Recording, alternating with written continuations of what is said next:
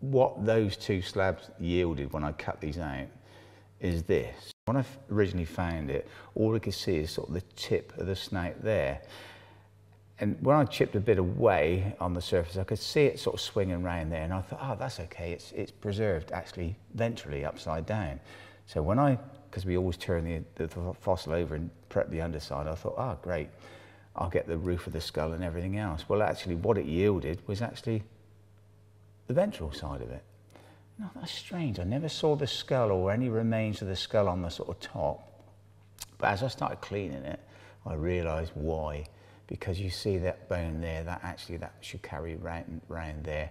That bone's broken, that bone's broken, that bone's incomplete, so's that. And there's fragments of broken bone lying all over the place.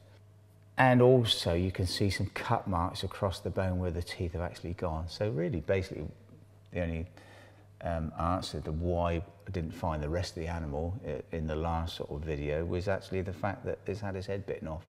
And this dropped down as one entity on the seafloor complete.